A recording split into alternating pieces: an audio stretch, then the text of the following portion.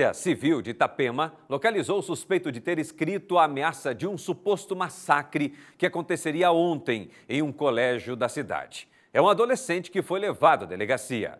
Vamos a um giro com outras ocorrências. Acompanhe. A Praça de Esportes e Lazer Carlos Eduardo Correia da Silva, no bairro São Paulo, em Navegantes, mais uma vez foi alvo de vandalismo. Para evitar que os criminosos entrassem no local, a prefeitura colocou um cadeado, mas no dia seguinte, os vândalos quebraram o muro para tentar ter acesso ao local. No mesmo dia, o cadeado foi novamente arrombado e jogado areia em toda a quadra que havia sido lavada mais cedo. Ninguém foi preso. Em Balneário Pissarras, o município flagrou o descarte de uniformes da rede no lixo.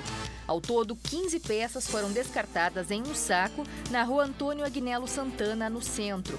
Haviam jaquetas, camisas de manga curta e manga longa, regatas, calças e bermudas, que foram entregues à Secretaria de Assistência Social e encaminhadas ao abrigo para doação. A Secretaria Municipal de Educação orienta os pais e responsáveis para que devolvam as peças de uniformes que deixaram de servir nos filhos. A devolução pode ser realizada na sede da Secretaria ou nas unidades municipais de ensino. A demolição de um prédio na tarde desta quarta-feira em Balneário Camboriú deixou pelo menos 7 mil unidades consumidoras sem energia elétrica.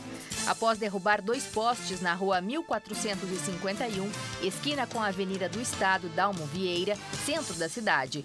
Os postes foram atingidos pelos escombros do prédio demolido que ficava em uma esquina acidentalmente. Partes do concreto atingiram a fiação elétrica, derrubando o poste que ficava de frente à obra.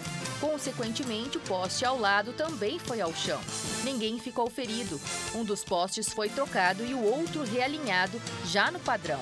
A empresa foi autorizada a finalizar a demolição para trazer segurança para quem transita na via.